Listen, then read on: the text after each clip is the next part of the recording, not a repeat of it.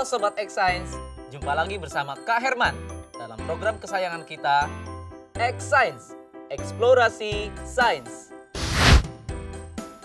Adik-adik, pernahkah kalian bekerja bakti membersihkan kelas bersama teman-teman?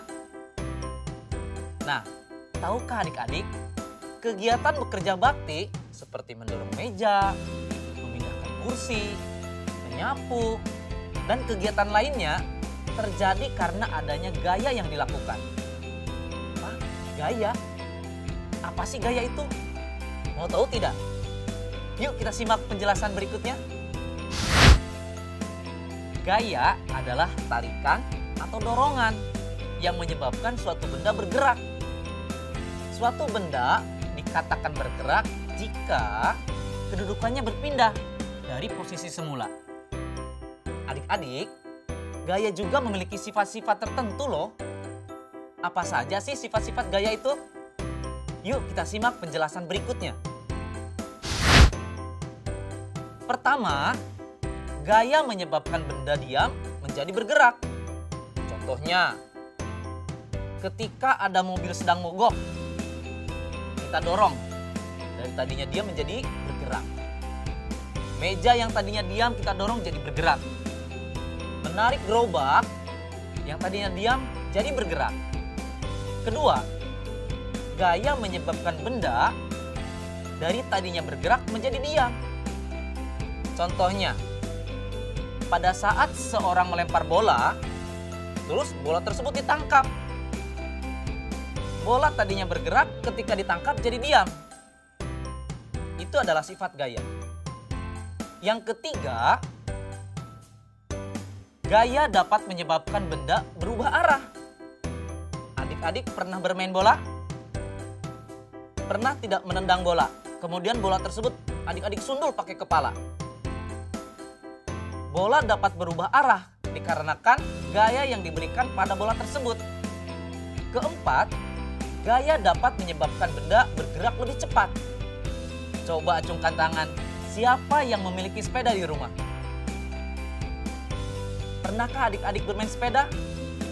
Ketika adik-adik menekan pedal sepeda semakin keras, maka kecepatan sepeda adik-adik akan bergerak jauh lebih cepat. Kelima, gaya dapat mengubah bentuk benda. Ini lebih ekstrim adik-adik contohnya. Pernah nggak adik-adik melihat mobil tabrakan? Badan mobil yang tadinya bagus, mulus, ketika menabrak sesuatu, maka dia akan hancur atau bentuknya jadi berubah.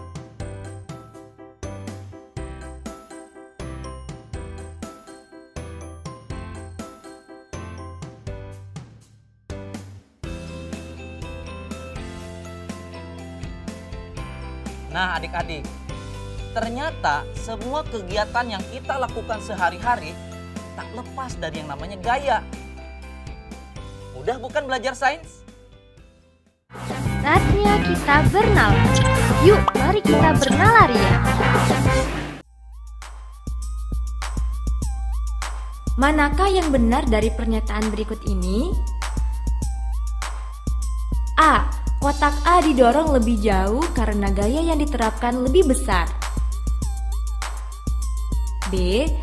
Lebih sedikit pekerjaan dilakukan pada kotak B karena gaya dan jaraknya lebih besar.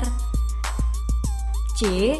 Semakin besar jumlah gaya yang diterapkan ke kotak, semakin jauh jarak yang didorong. D. Semua benar.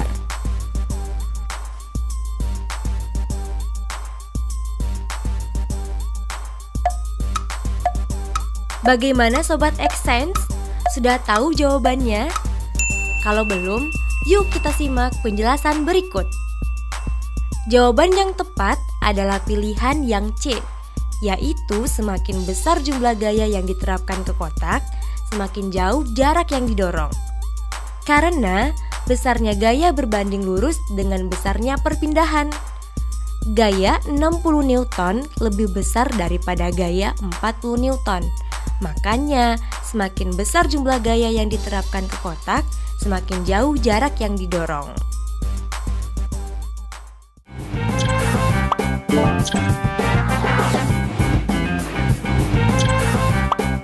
Podcast.